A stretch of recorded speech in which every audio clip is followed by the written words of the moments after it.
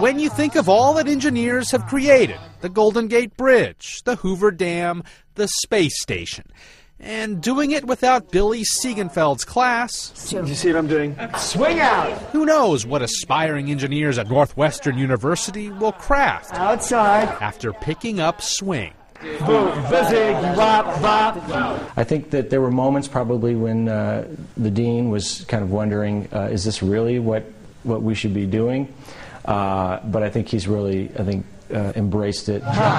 Right brained students using some of their left brains and feet. I'm taking calculus and physics and classes like that, but this really lets me break out of my engineering shell and interact with people in a, in a completely different way. The class is called Whole Body Thinking.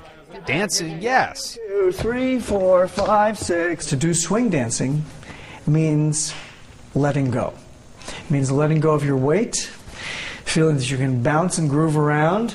And uh, I would say that the engineers, of course, have a problem doing that sometimes. Where's that swing bounce? But the lessons here also apply to life.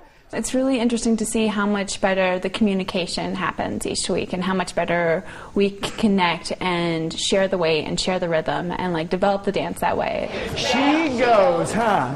Huh? Things don't always go according to plan. So if you're in the leadership position, what do you do? So you really have to be able to think on your feet. And one. The minds of engineers Huh? That's right. tackling a new way of thinking, Keep cool, baby. one step at a time. Lee Powell, The Associated Press. Good.